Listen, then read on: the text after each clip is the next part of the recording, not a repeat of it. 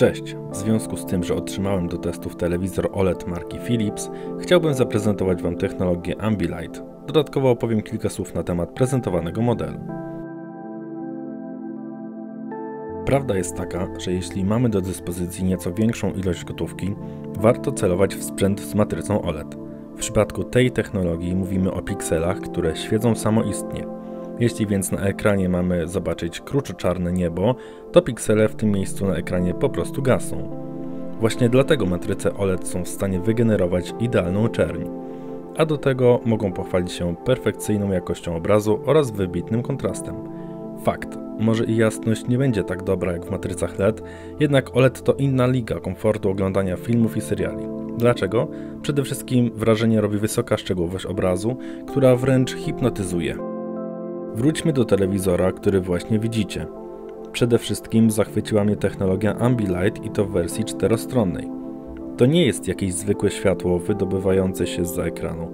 To poświata, która jest naprawdę efektowna. Dzięki niej obraz staje się bardziej trójwymiarowy, a ekran wydaje się większy, co potęguje wrażenia podczas seansów. Nie mogę również zapomnieć o efektownym designie tego modelu. Aluminiowa podstawa w kształcie litery T zainstalowana w centralnym miejscu, bardzo wąskie ramki i równie wąska obudowa, przez co mamy wrażenie jakby telewizor był niemal grubości kartki. Oczywiście wygląd to nie wszystko. W porównaniu do poprzednich generacji tegoroczna odsłona tego modelu wyróżnia się najnowszym panelem OLED EX, w którym związki na bazie wodoru zastąpiono bardziej wydajnym i stabilnym deuterem. W ten sposób obraz jest jaśniejszy o 30% niż w przypadku standardowego ekranu tego typu. Telewizor ten został wyposażony w wydajny procesor Philips P5 ze wsparciem sztucznej inteligencji, co pozwala na lepsze przetwarzanie obrazu. W efekcie na ekranie widzimy sceny pełne realizmu, najdrobniejszych szczegółów, bogate w kolory i z wysokim kontrastem. Jest to więc sprzęt dla wymagających kinomanów.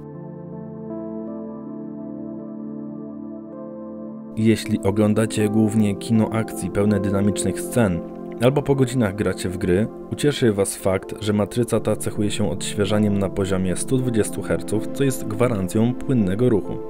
Należy dodać, że nie o same gry chodzi. Takie parametry ucieszą również fanów sportu. Jeśli oglądacie piłkę nożną, kosza czy inne zmagania, matryca OLED z odświeżaniem 120 Hz sprawi, że nie uświadczycie jakichkolwiek opóźnień lub efektu smużenia, a piłka lecąca z dużą prędkością na tle zielonego boiska nie zostawi za sobą długiego białego śladu. Warto dodać, że jeśli chodzi o strumieniowanie wideo, telewizor został wyposażony w system Android TV. Możemy więc korzystać z różnych aplikacji, jak i gier. Z racji tego, że mamy do czynienia z oprogramowaniem Google, nie zabrakło również asystenta tej firmy. Dodatkowo urządzenie współpracuje z Alexą. Krótko mówiąc, możemy sterować telewizorem głosowo, a pomoże nam w tym pilot z mikrofonem. Jeśli chodzi o aplikacje, jest ich naprawdę bardzo dużo. Mam na myśli popularne w naszym kraju, takie jak Netflix, HBO, Player, Disney, Spotify, oczywiście YouTube, ale nawet i CDA. Na koniec nasuwa się pytanie, ile kosztuje tak zaawansowany model? Jego cena w przypadku wyboru wariantu z matrycą o przekątnej 55 cali wynosi niecałe 7000 zł.